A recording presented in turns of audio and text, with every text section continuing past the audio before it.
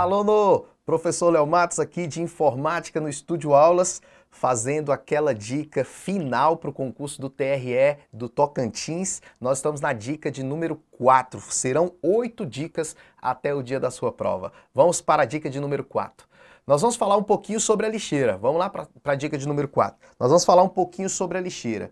Eu creio que a maioria aqui já sabe que quando a gente dá um delete em um arquivo qualquer, por exemplo, selecionei esse arquivo aqui, dei um delete aparece a mensagem: tem certeza que deseja mover esse arquivo para a lixeira? E aí, se você der um sim, esse arquivo vai para a lixeira, te dando a possibilidade de recuperação. Caso você não queira que o arquivo vá para a lixeira, você segura o Shift e dá um delete. Você vai perceber que Shift mais delete, a exclusão será permanente. Pode ver que a mensagem já até mudou, exclusão permanente, tá bom?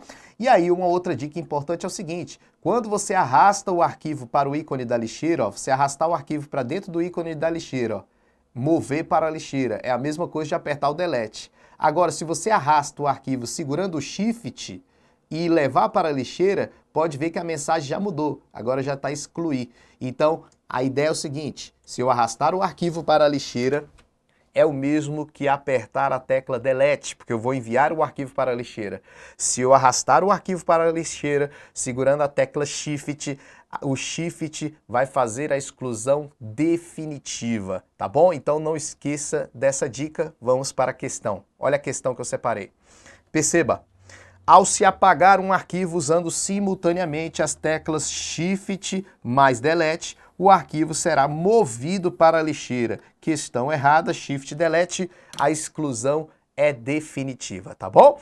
Não esqueça, não esqueça, não esqueça, não esqueça que sábado véspera da prova do TRE de Tocantins, nós vamos ter a revisão final aqui no canal do Estúdio Aulas no YouTube. O link para a inscrição está aí embaixo. Você faz a inscrição, recebe o link por e-mail do evento gratuito, revisão final aqui online e ao vivo no Estúdio Aulas. Beleza? Abraço para vocês e até a próxima.